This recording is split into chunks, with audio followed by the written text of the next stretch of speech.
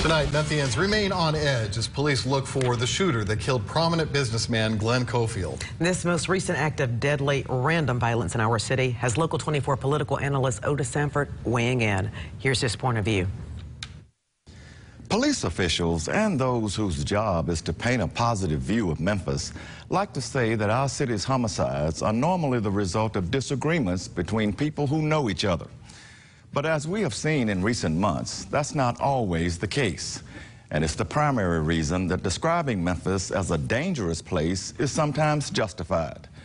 The latest example of this came Friday night when well-known business executive and community leader Glenn Cofield was shot to death during an attempted robbery. The shooting happened in, of all places, a church parking lot at Poplar and East Parkway. And it's the apparent randomness of the crime that has so many people from Memphis to Cofield's hometown in Oxford shaken and upset. Cofield and his wife were leaving a St. Jude charity event at a nearby home and were getting into their car when the gunman approached. Within seconds, Cofield was fatally shot.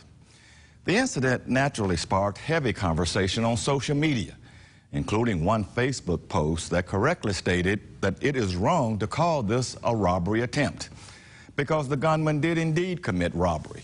He robbed a family of a husband and father and robbed our community of a generous and kind leader. Plus, this and other violent crimes rob us all of the belief that Memphis is becoming a safer city. And that is a tragedy as well. And that's my point of view. I'm Otis Sanford for Local 24 News.